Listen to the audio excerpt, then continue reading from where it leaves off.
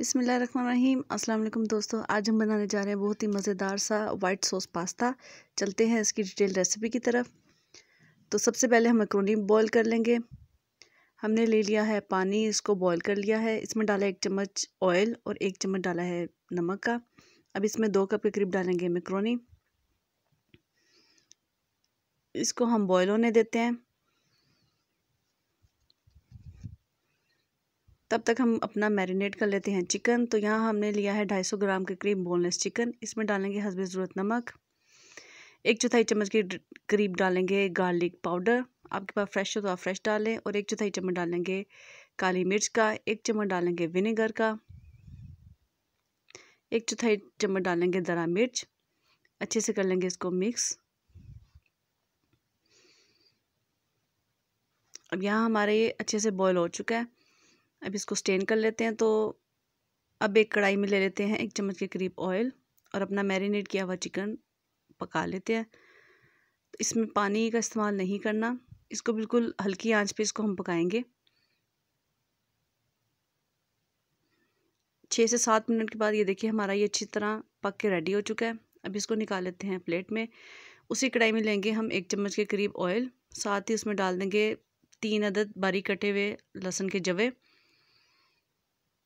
साथ इसमें डाल देंगे हम बारीक कटे हुए मशरूम बारीक कटी हुई गाजर और बारीक कटी हुई शिमला मिर्च। पाँच से छः मिनट तक इसे अच्छे से भून लेंगे। अब इसमें डालेंगे हम हसब ज़रूरत नमक। एक चौथाई चम्मच डालेंगे दरा मिर्च। एक चौथाई चम्मच डालेंगे काली मिर्च। अच्छे से पका लेंगे।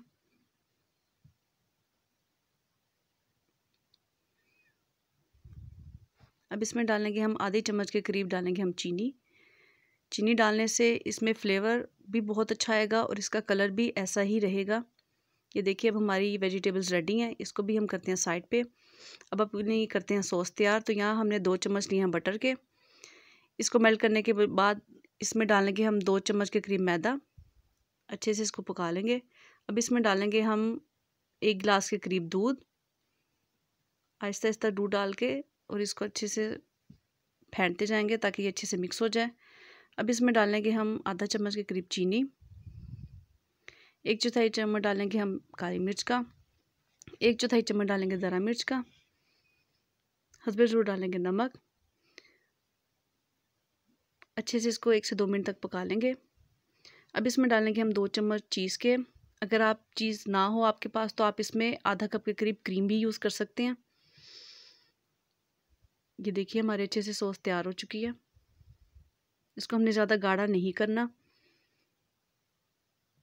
अब इसमें हम डालेंगे अपना पका हुआ चिकन। एक से दो मिनट तक पकाएँगे। अब इसमें डालेंगे हम तैयार की हुई अपनी वेजिटेबल्स। आँच बिल्कुल हमने दम वाली रखनी है, बिल्कुल लो, नहीं तो ये एकदम से गाढ़ा हो जाएगा। अब इसमें डालेंगे हम टू कप्स के करीब अपना बॉयल पास्ता। अगर आपको ज़्यादा सॉस पसंद है तो आप वन कप डालें। ये देखिए, हमारा पास्ता बिल्कुल तैयार है। अब इसको करते हैं डिश आउट। तो लीजिए हमारी मज़ेदार से वाइट सॉस पास्ता रेसिपी, आप ज़रूर ट्राई कीजिएगा। हमें शेयर करें, सब्सक्राइब करें, लाइक करें। हमेशा दुआ में याद रखिएगा। अल्लाह हाफिज़।